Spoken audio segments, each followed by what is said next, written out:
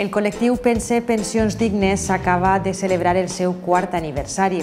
Nosaltres volem conèixer quin és el balanç que fan d'estos anys de, de recorregut.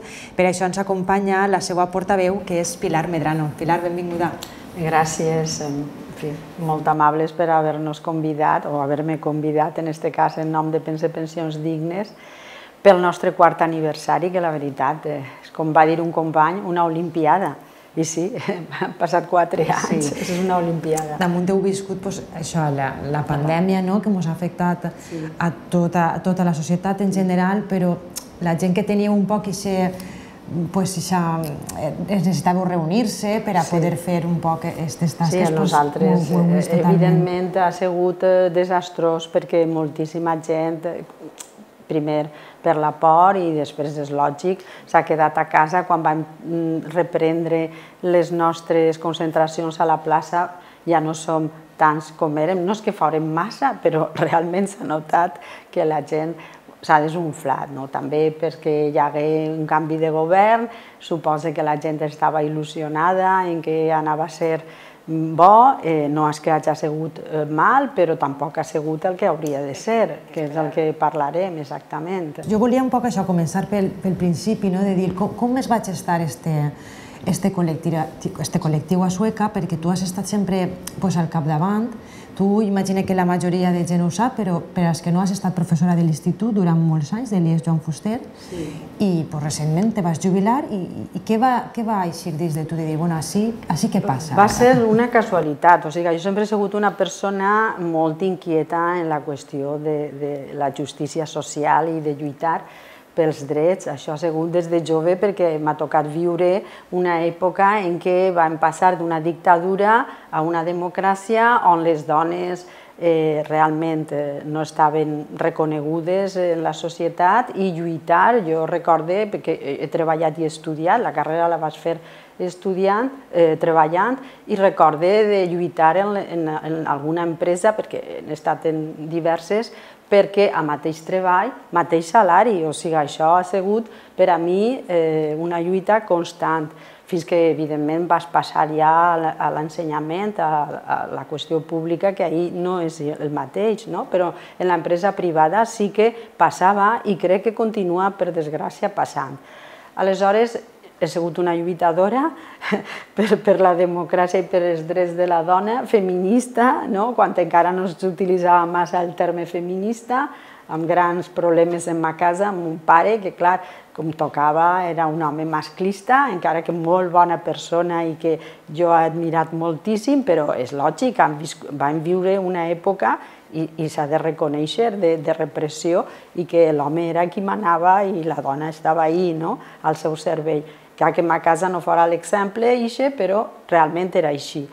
I, per tant, jo he lluitat i, i bé, vas, me vaig jubilar per, per passar etapes, em vaig jubilar i va resultar que un dia rep un WhatsApp que vam rebre molts dient que eh, ja estava bé del 0,25% i que ens convocaven a la plaça de l'Ajuntament, eh, no, sé, no recorde ara quin dia, era un dilluns, crec, a les 11 o de matí. Aleshores jo vaig dir, cert, 0,25%, és que no dona per a res. I bé, si jo tinc una pensió bona, eh, què passa en la gent que, que realment té 1.000 euros? Pensava jo, el meu desconeixement, jo pensava que eren 1.000 euros i no, no, clar, després he vist que, que ara actualment encara estem en unes pensions mínimes eh, de viudetat, per exemple, que ara han pujat un poquet i són 700 i pico euros, però realment era una misèria.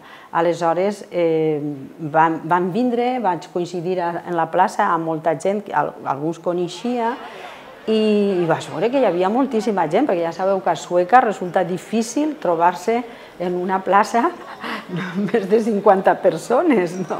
Aleshores hi havia, però jo crec que un centenar, i, i, i, i tots es preguntaven d'on havia eixit això. No? No, no ho saberen, no ho saberen mai, però ho havíem rebut tots. Aleshores vaig pensar, doncs caldria, perquè ves la inquietud de, de fer alguna cosa. Si ja hem eixit de la crisi, perquè continuem pagant el 0,25% d'augment de les pensions cada any. I vaig prendre nota dels telèfons d'algunes persones que estaven allí i, i bé, i me vaig informar, no? gràcies a internet, encara que jo no sóc una mestra de la qüestió, però fins a buscar arriba i aleshores vaig buscar i vaig veure que hi havia la, eh, la Coordinadora Estatal per la Defensa del Sistema Públic de Pensions, l'acrònim COESPE, i, i em vaig ficar en contacte, eh, com que tardaven a contestar-me i jo sóc impacient, jo sóc impacient, aleshores vaig veure que hi havia una concentració a València, eh, també per els mateixos motius, el dilluns següent també me va arribar i vaig dir, doncs me'n vaig a València a averiguar-ho. I allí vaig trobar a, a un company, eh, Vicent Barber, amb qui vas parlar des Yayo Flautes i me va comentar que estava en la coordinadora i que en efecte per el que s'estaven manejant, perquè no hi havia dret, i vaig pensar, ostres, això és que és cert, hem de fer alguna cosa. I este senyor va voler, li vas dir si podria vindre a explicar un poc, i aleshores va dir, sí, si tu me proporciones el local, jo hi vaig. Aleshores vas demanar eh, eh, a l'Ajuntament el saló d'actes i vam fer una xerrada sobre les pensions i bé, tot el món, i fins i tot per a fer els cartells me va ajudar. Leo, de la fotografia, me va fer un cartell en pla, i me va, i va fer mm, còpies gratuïtament, en fi, tot. I vam fer la xerrada i va estar interessant i és quan la gent va dir, pues sí, haurem de fer alguna cosa. I ahir ja vam fer una segona convocatòria a l'Ateneu, baix, i vingué, en aquest moment pues, ja ho teníem clar que, que havíem de fer alguna plataforma, una associació, i aleshores es vam constituir ja com una associació. Ja després vam fer la documentació, eh, per, tinguérem la sort de, de tindre a Joan, eh, l'advocat Santa Andreu, que realment ens ho va facilitar molt perquè va ser ell qui va fer tota la documentació, però jo me l'havia baixat d'internet i pensava fer-ho igual. Doncs vam constituir i començarem ahir i la primera concentració va ser el dia 16 de, de març del 2018.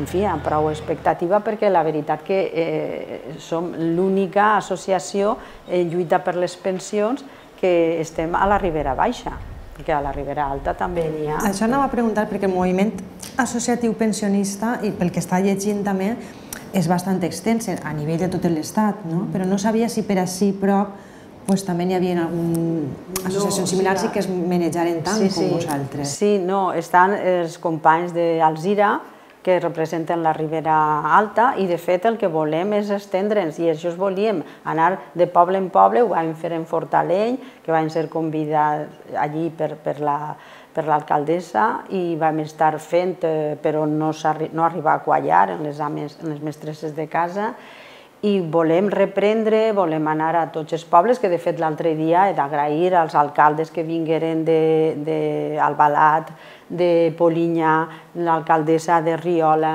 eh, de Corbera, espero no oblidar-me'n cap, eh, vingueren a, a, la, a la festeta que vam fer, a la celebració, eh, del quart aniversari i volem anar a aquests pobles perquè hi ha gent que ha vingut que voldria, clar, ah, anàrem a Riola, sí que és veritat que en Riola vàrem fer, eh, i tenim gent de Riola, però que, mm, en fi, que, que la gent tampoc amb la pandèmia s'ha deixat de, sí, de moure. Sí, s'ha quedat una miqueta sí, estancat, una cosa que hauria pogut evolucionar una sí, més ràpid. Sí, no? sí, volem a veure si en cada poble... I ara ja podeu reprendre Ara una miqueta. reprendre, sí, això volem, que no, no se torni a estancar.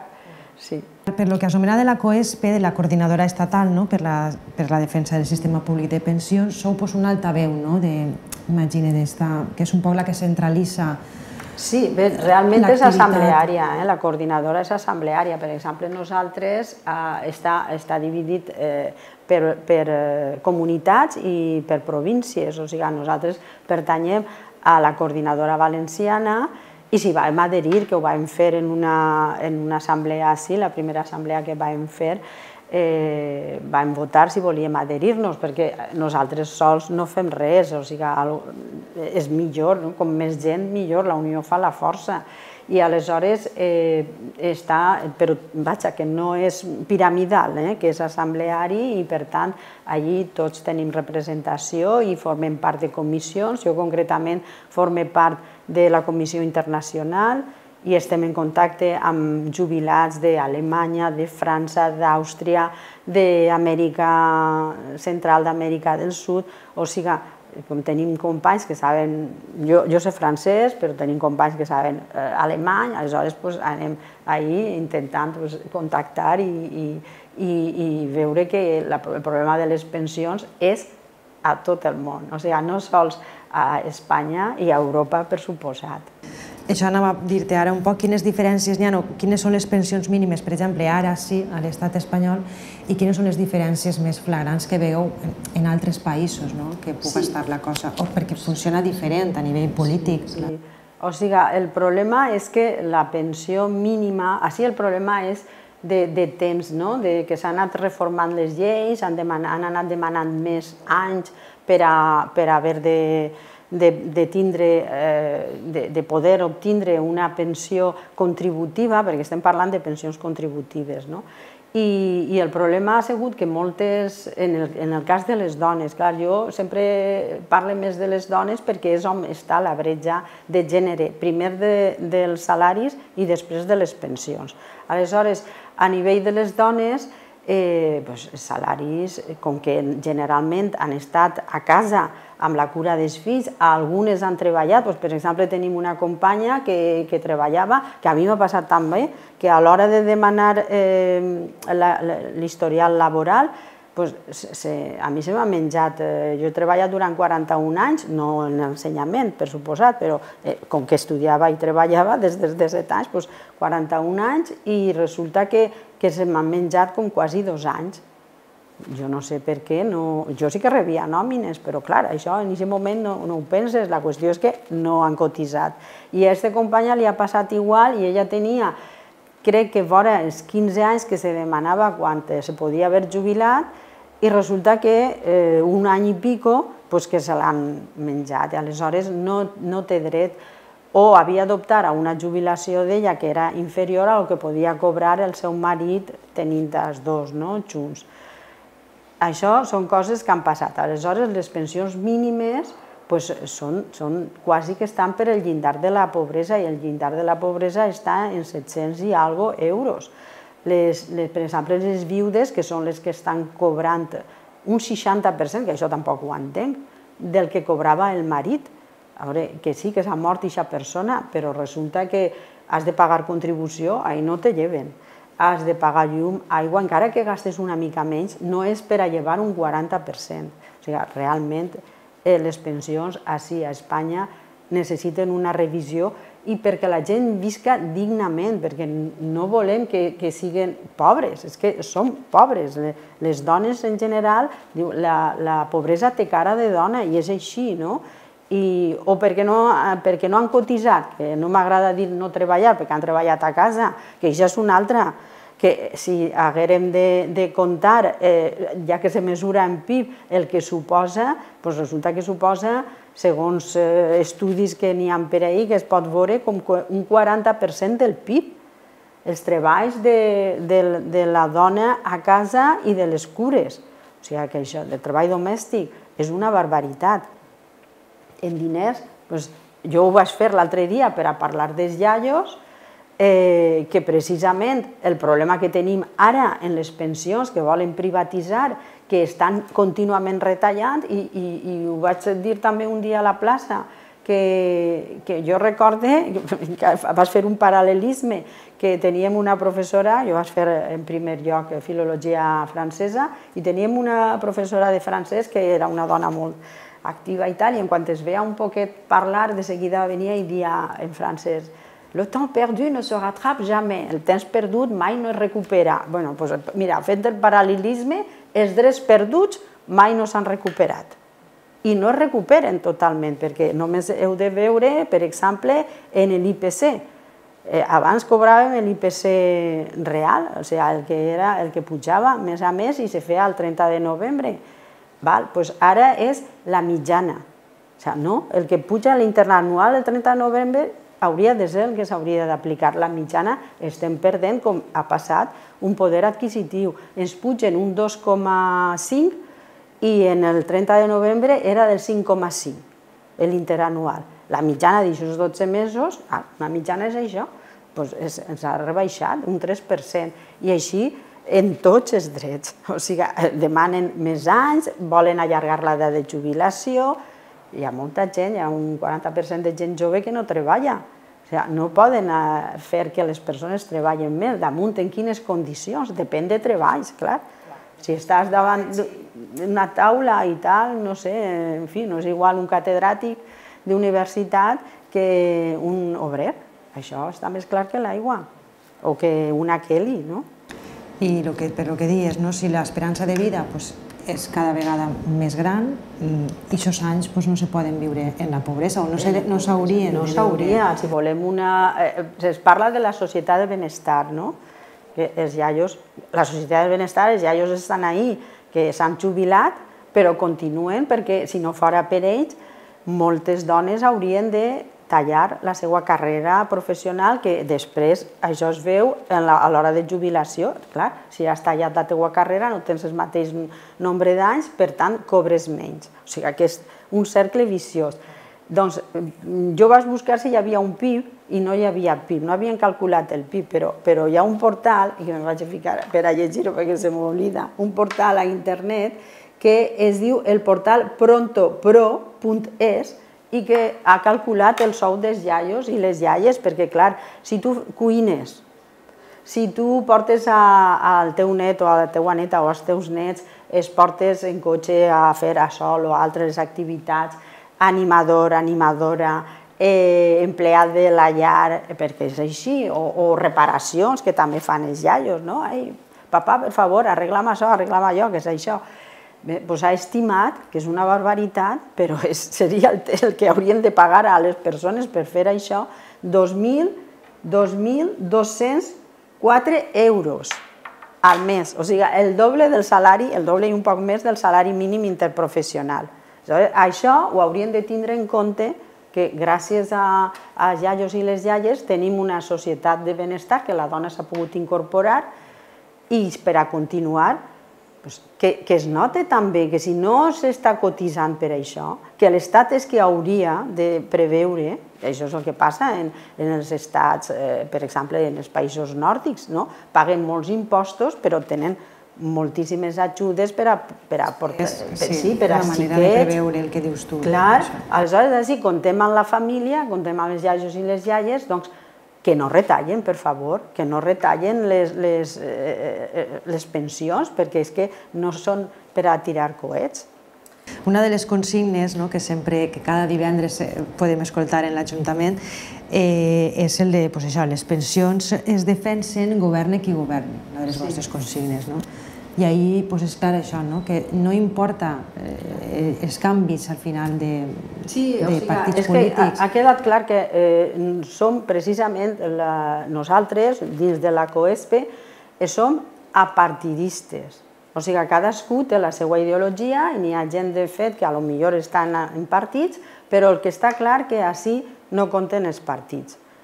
Compta eh, lluitar per les pensions, per eh, realment eh, restablir tot allò que en les diverses reformes s'han anat llevant, la del 2011, 2013, ara fins i tot, ara també, perquè amb la privatització de les pensions, que si vols ara després ho parlem, va ser un problema gros. I per tant, això és el lema, que governe qui governe, i així és com hem fet demanar una auditoria que aconseguirem gràcies a, a les mocions i sobretot a l'ajuda de diversos partits polítics que hem aconseguit que es fera eh, eh, durant aquest any s'ha de fer, no? i veure que la Caixa de les Pensions, que durant tants anys, recordareu que en el 2018, quan ja es comença a reclamar les pensions, en aquell moment era el PP amb el senyor Rajoy, deia no hay dinero para las pensiones i això era, eh, en efecte, s'havia buidat la famosa caixa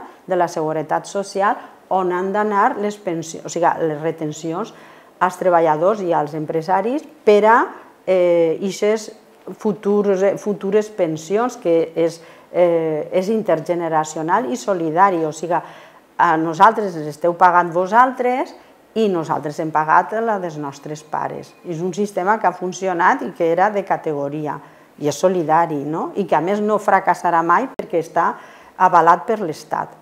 cosa que no passa igual en les pensions privades. A Alemanya tenim l'exemple, és que ara volen fer el mateix, volen fer mixta, mitja pensió pública, mig pensió privada. No? I a més, ara ja està al Parlament i, per eh, desgràcia, han votat menys partits, eh, sigut eh, Esquerra Republicana, Compromís, o sigui, els partits d'esquerres, ECO, eh, Bildu, la CUP, eh, BNG, eh, han votat que no, volien rebutjar que tornara de nou a, al govern per, per, per precisament eh, veure una sèrie de coses que no estem d'acord i és Eh, ixes... Quin problema n'hi ha en aquest sistema, diríem, de privatització? Pues el sistema de privatització no són les, les pensions privades que s'han pogut fer nosaltres amb els bancs, que jo de fet en tenia una i vas congelar i, i, bueno, i quasi que per tot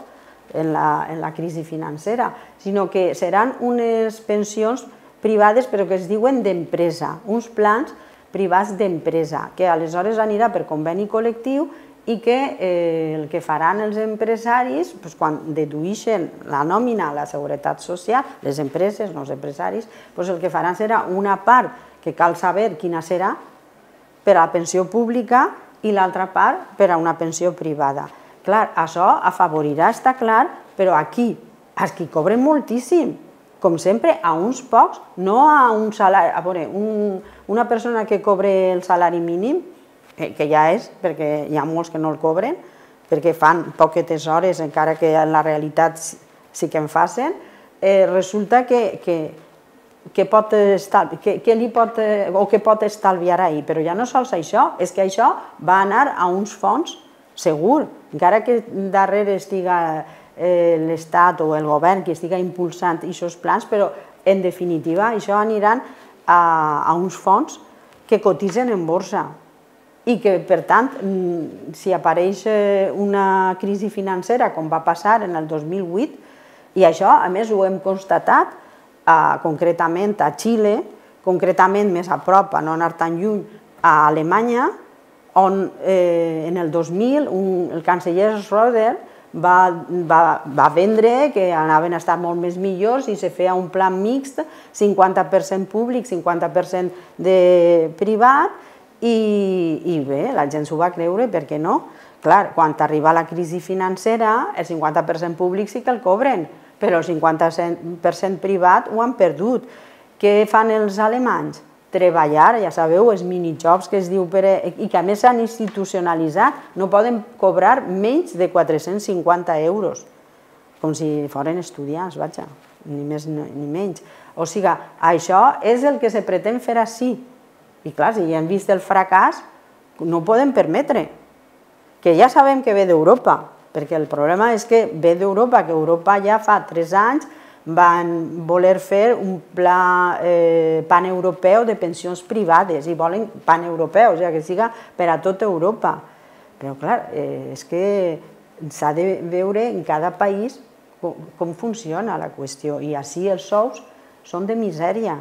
O sigui, el que cal és que la gent cobre més per a continuar aportant a aquesta caixa, que de fet no és deficitària, perquè el Tribunal de Comptes va traure que des de l'any 95 que es va fer n'hi ha 103.000 milions de diners que s'han mm, retret d'aquesta caixa que han anat a altres menesters i que curiosament, bueno, això diu el Tribunal de Comptes, Comissions Obreres va fer un estudi on deia que 500.000 o 550.000 milions, que són milions, però és que després ja els, eh, com se diuen, els eh, economistes front a la crisi que, que han valorat que podien ser de 800.000 milions. I per això nosaltres estem molt contents d'haver aconseguit una auditoria, però una auditoria que es faça per el Tribunal de Comptes, perquè han més que en efecte són 103.000 milions, però sembla que no, no, siga, no siga tot, o sigui, de pensions, per exemple, no contributives. Això no pot anar ahir en les pensions no contributives no poden anar en la caixa de la Seguretat Social, han d'eixir de, de, de lo que és el, el, el, lo de l'Estat, no? el pressupost que se fa de despeses de l'Estat, no d'una caixa on lògic és que si tu ingresses 1.000, després tu pagues 500 o 800 i, i així, no, no pots llevar de pensions contributives, no pots llevar de pensions no contributives, d'orfandat, de rescat bancari, perquè encara estem per aclarir què ha passat en els 65.000 milions que van desaparèixer. Moltes coses per aclarir. Clar, és que eh, falta transparència. El problema és la falta de transparència, que això ho diuen tots. I auditoria està, va a fer-se? S'ha de fer, sí, sí. El problema està en que, eh, per una part, el senyor ministre de la Seguretat Social, el senyor Escrivà, vol que es faça amb funcionaris del Ministeri. I clar, això és ser jutge i part. Nosaltres volem que siga eh, per, per el Tribunal de Comptes, que és la lògica, saps? per estar segur de tot el que és. Sí, sí s'ha de fer, almenys se, se, se va votar, aleshores que menys. I eh, això, per exemple, heu, heu estat, heu fet diverses eixides, no? ja no a, a València, sinó heu estat a Madrid, crec que diverses vegades, sí. i també vau estar a Brussel·les. Sí. Eh, què és el que, un poc el que, sí. el que reclamàveu i com veus que això pues, pues com vaig va veure avançant. que anava cap avant la qüestió de la privatització, se'n vam anar a Brussel·les, que va ser un, un viatge èpic, perquè va ser dos dies, 48 hores de dormir a l'autobús des de Bilbao, perquè arribarem a Bilbao, i amb els companys bascos, un autobús tot de companys bascos i un autobús tots de la resta de l'estat, però que venien doncs, de, de, del sud, eh, de l'oest, de l'est, i eh, havia sigut un viatge més o menys, perquè bé, jo em vaig anar en tren, el company se'n va anar en cotxe, en altres companys de Petrer, i, i arribarem allí a Bilbao i, i ahir començarem per anar a Brussel·les viatjant de nit i hi havia persona iaies, però, però jo dic iaies majors, o sigui, em dobla, eh, eh, com, que, com 15 o 20 anys majors que jo, que, que inclús pràcticament anaven arrossegant-se, però elles volien lluitar per les pensions dels seus nets no per elles, sinó per les pensions de seus volen deixar un molt millor, que això és, a mi se me ficava la carn de gallina, de veure persones tan majors, malaltes, venia una malalta de càncer, que portava una fotraca de pastilles, i jo pensava, ostres, si això és dur per a mi, que, que tinc sort de tindre salut, aquesta persona, pues, allí estava ella. No? I arribarem a... Teníem concertat, eh, en fi, els companys de, de la coordinadora, els, representants doncs, tenien concertat entrevista amb eh, els representants de diversos partits a Brussel·les, precisament per intentar que s'interrompisca el que és el, el famós PEP, el projecte europeu de pensions privades, que això va endavant i a més sabem que així s'ha posat com a condició a Espanya aquesta reforma de les pensions per a donar aquests diners que, que han de donar o que ja han començat a donar per això. Aleshores anarem allí, se van entrevistar en diversos eh, diputats que eren d'esquerres, de, no sols d'ací de, de, de l'estat espanyol, sinó també de França, de Bèlgica, i eh, el que van comentar és que havíem de continuar perquè els lobbies són els que manen. El Parlament Europeu, qui mana és el lobby, no és, són els grups de pressió, per a que la gent sàpiga que és un lobby, és un grup de pressió i per tant interessa de pressió financera, perquè clar, imagineu tots aquests diners si van a, a fons, o sigui, al món de les finances, al món de les companyies d'assegurances, la quantitat de bilions, no milions, bilions que suposen, jo crec que és comprensible el per què se pretén privatitzar. I, um, Pilar, en aquest sentit, eh, pel que dius tu, no? la, la lluita continua, vosaltres continuareu estant ahí. Parla'm un poc de la vostra dinàmica, encara que pues, la major part imagina que ja ho coneixen, que és això, reunir-se cada divendres així en Sueca, parla'm un poc del grup que sou, imagina que és un grup també bastant heterogeni, no? Gent que heu treballat en llocs diferents i que sí, vindreu sí, autònoms, treballadors sí, per compte Sí, el, el bo d'això, igual que he dit que és apartidista, per tant no importa la ideologia, és transversal, per tant tenim gent que pensa de dretes i gent que pensa d'esquerres, però això no impedeix el que tots estem per al mateix. No? I aleshores eh, sí que és veritat que hi ha persones que, que cobren més, altres que cobren menys, però estem ahí en, en, el que és, fem, com és una associació tenim una junta, però a banda tenim gent que ens acompanya i que els divendres, com sabeu, estem ahí a la plaça. Nosaltres divendres perquè hi ha mercat, que normalment eh, la resta de l'estat sol ser dilluns, per allò de los lunes al sol. No sé si recordareu aquella pel·lícula. Eh? I, i bé. Sí, continueu els divendres i, i bueno, mm, sempre s'acompanyeu també de música, teniu les vostres samarretes... Sí, doncs, clar, un poc per, per a reconèixer-nos. No? Si fem pinya, que clar, va ser el, el tenim ahir, no?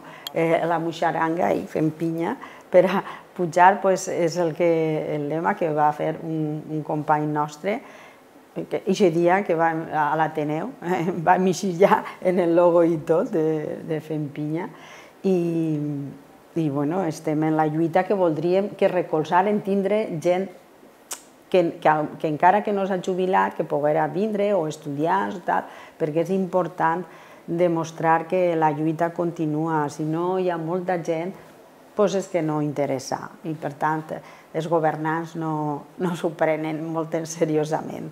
Sí, això anava a dir-te, Pilar, si sentiu recolzats així en sueca i si, i si creus, pues, al millor que la gent, sobretot la gent més jove, no és del tot conscient no? de que això és una carrera de fons i que van a vores ahir. Sí, sí, sí, com a Olimpiada són maratons i en efecte se trobaran ahir i, i per tant sí que voldríem que quan no tenen classe estigueren ahir i sí, trobem ara recolzats, per, per exemple, per la, per, eh, sí que s'hem vist recolzats, per exemple, en, en el que hem demanat en la bretxa digital que va sorgir arran del company eh, Carlos San Juan que va amb el lema Soy mayor però no soy idiota, pues, va aconseguir vora 600.000 eh, signatures s'ha demostrat que en efecte que hi ha un interès i que hi ha un problema gros ahir en la qüestió del bancària i, de, i, bueno, i l'administració en general a partir de, de la pandèmia on tots has de demanar-ho per internet i clar,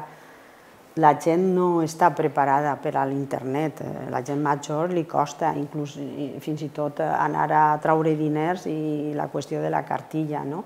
I ahir pues, eh, vam sol·licitar als ajuntaments, nosaltres així a Sueca, i el senyor alcalde es va anticipar i no va ni tan sols esperar al ple perquè suposava que en aquest ple no anava a entrar i hauria de ser al següent, i aleshores el que va fer va ser fer ell una carta que enviar a tots els bancs, com a alcalde, demanant que, que, que, que la gent eh, tinguera eh, en fi, la dignitat que, que es mereix no? com a persones grans i ser atesos. Sí.